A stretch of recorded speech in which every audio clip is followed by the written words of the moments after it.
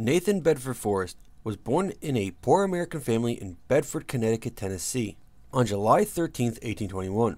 He and his twin sister, Fanny, were the two oldest of 12 children. Half of them died of typhoid. His father recovered from typhoid, but died from the effects five years later. A few years later, his mother, Miriam, remarried to Marshall John Luxton and had three boys and a girl with him. At the outset of the American Civil War, Forrest had a 10 year old sister. In 1841, Forrest went into business with his uncle Jonathan Forrest in Hernando, Mississippi. His uncle was killed there in 1845 during an argument with the Matlock brothers. In retaliation, Forrest shot and killed two of them and wounded two others with a knife. Forrest became a businessman, planter, and slaveholder. He owned several cotton plantations in the Delta region of West Tennessee. He had become a millionaire and one of the richest men in the South, having amassed a personal fortune that he claimed was worth 1.5 million. In 1845, Nathan married Marianne Montgomery, the daughter of a Presbyterian minister. They had two children together, William Montgomery Bedford Forrest in 1846 and Fanny in 1849. After the American Civil War broke out, Forrest returned to Tennessee from his Mississippi ventures, enlisted in the Confederate States Army, and trained at Fort Wright in Randolph, Tennessee. On July 14, 1861, he joined Captain Josiah White's company, Tennessee Mounted Rifles, as a private.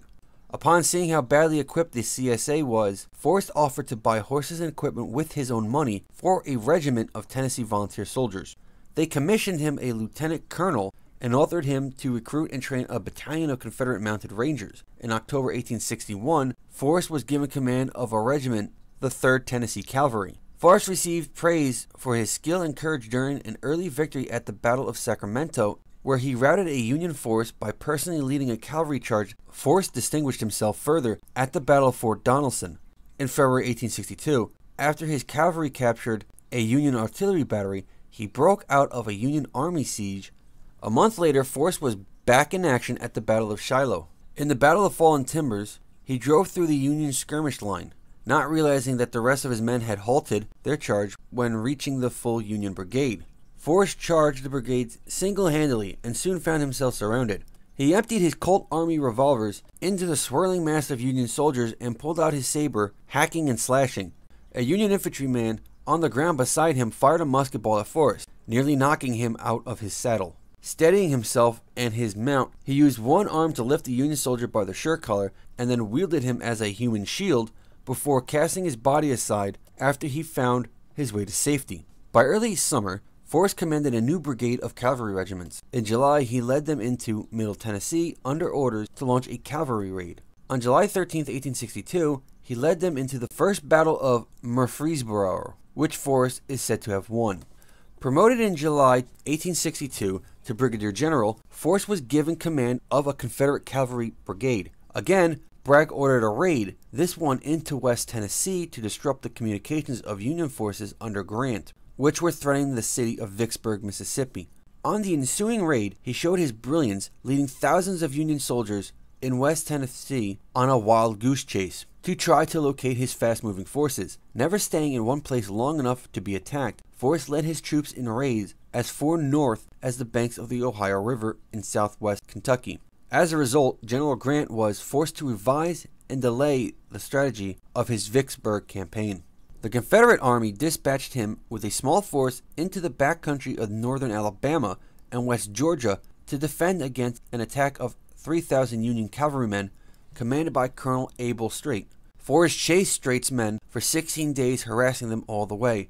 On May 3rd, Forrest caught up with Streight's unit east of Cedar Bluff, Alabama. Forrest had fewer men than the Union side, but he repeatedly paraded some of them around a hilltop to appear a larger force, and convinced Streight to surrender his 1,500 exhausted troops. Forrest served with the main army at the Battle of Chickamauga. Like several others under Bragg's command, he urged an immediate follow-up attack to recapture Chattanooga, which had fallen a few weeks before. Bragg failed to do so, upon which Forrest was quoted by saying, What does he fight battles for?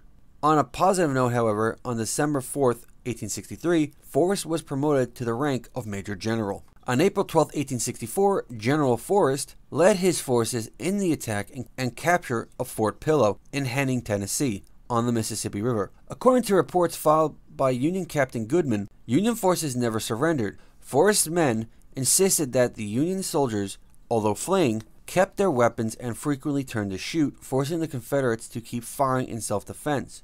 At the time of the massacre, General Grant had already transferred to the east to command all Union troops. Major General William Tecumseh Sherman, commander of the Military Division of the Mississippi, which included Tennessee, wrote, The massacre at Fort Pillow occurred April 12, 1864, and had been the subject of congressional inquiry.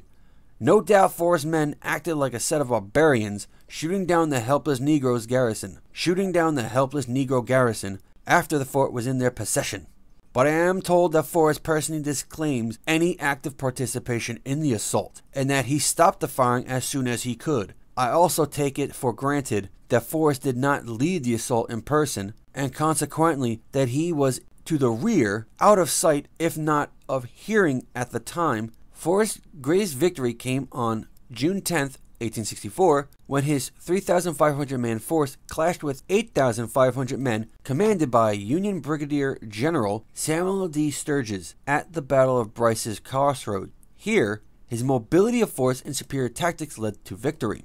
He swept the Union forces from a large expanse of southwest Tennessee and northern Mississippi. Forrest set up a position for an attack to repulse the pursuing force commanded by Sturgis, who had been sent to impede Forrest from destroying Union supplies and fortifications. When Sturgis' Federal army came upon the crossroads, they collided with Forrest's cavalry. Sturgis ordered his infantry to advance to the front line to counteract the cavalry.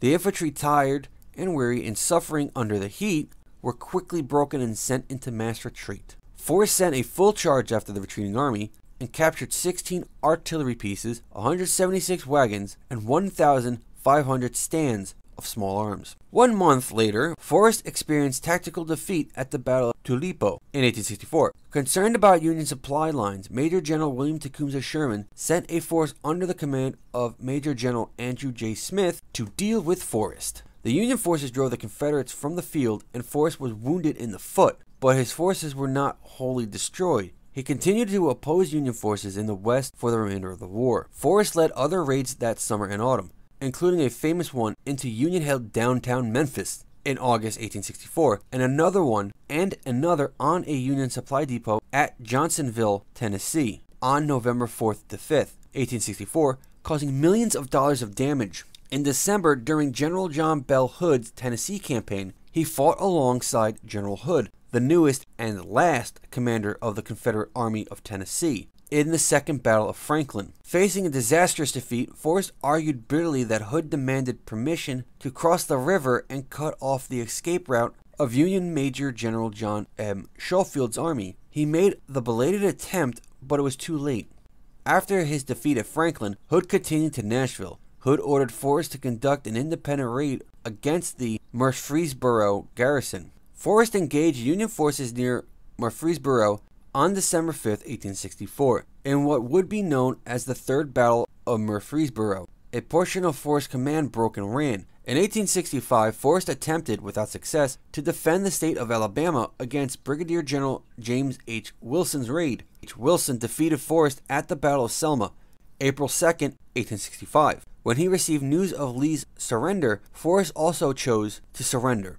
On May 9, 1865, at Gainesville, Forrest read his farewell address. With slavery abolished after the war, Forrest suffered a major financial setback as a former slave trader. He became interested in the area around Crowley's Ridge during the war and settled in Memphis, Tennessee. In 1866, Forrest and C.C. McCreanor were contracted to finish the Memphis and Little Rock Railroad. He built a commissary in a town forming along the rail route which most residents were calling Forrest Town, incorporated as Forrest City, Arkansas in 1870. He later found employment he later found employment at the Selma-based Marion and Memphis Railroad and eventually became the company's president. And under his direction, the company went bankrupt, nearly ruined as the result of failure. During 1873, Forrest wrote a letter to the then General in Chief of the United States Army, William Tecumseh Sherman, and offered his services in case of war with Spain. Sherman, who in the Civil War had recognized what a deadly foe Forrest was, replied after the crisis settled down. He thanked Forrest for the offer and stated that, had war broken out, he would have considered it an honor to have served side by side with him. Forrest was an early member of the Ku Klux Klan. The KKK was formed by veterans of the Confederate Army in Pulaski, Tennessee in 1866 and soon expanded throughout the state and beyond. The organization had grown to the point where an experienced commander was needed and Forrest fit the bill. Forrest was sworn in as a member. The title Grand Wizard was chosen because General Forrest was known as the Wizard of the Saddle during the American Civil War. After the American Civil War had ended, the Union States Congress began passing the Reconstruction Acts to lay out requirements for the former Confederate states to be readmitted to the Union. One of the stipulations was specifically granting voting rights to black men. In an 1868 interview by a Cincinnati newspaper, Forrest claimed that the Klan had 40,000 members in Tennessee and 550,000 total members throughout the southern states. He said he sympathized with them but denied any formal connection. After only a year as Grand Wizard in January 1869, faced with an ungovernable membership employing methods that seemed increasingly counterproductive, Forrest issued KKK General Order Number 1. It is therefore ordered and declared that the masks and costumes of this order be entirely abolished and destroyed, henceforth dissolving the Ku Klux Klan.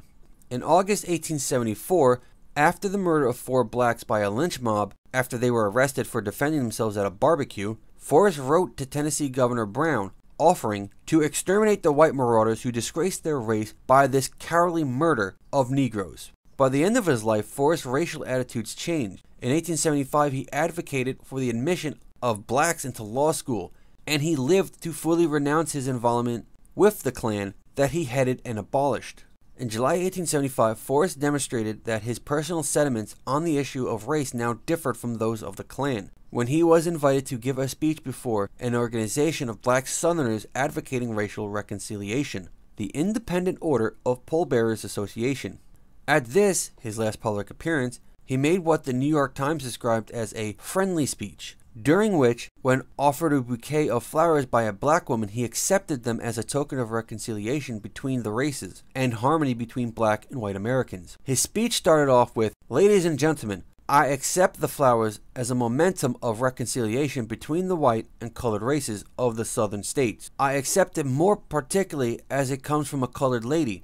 For if there is any one on God's earth who loves the ladies, I believe it is myself. This was followed by immense applause and laughter.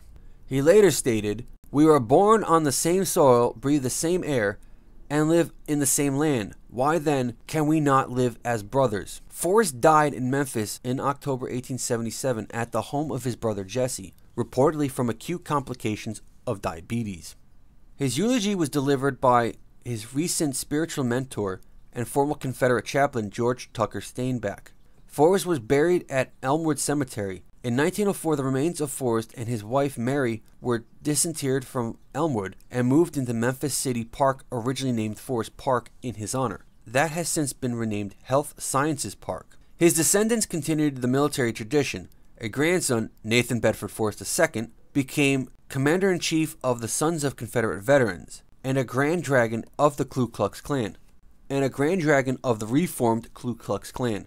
A great grandson, Nathan Bedford Forrest III graduated from West Point and rose to the rank of Brigadier General in the U.S. Army Air Corps. He was killed during a bombing raid over Nazi Germany in 1943. In the 1994 film Forrest Gump, the titular character says that he was named after his ancestor, General Nathan Bedford Forrest.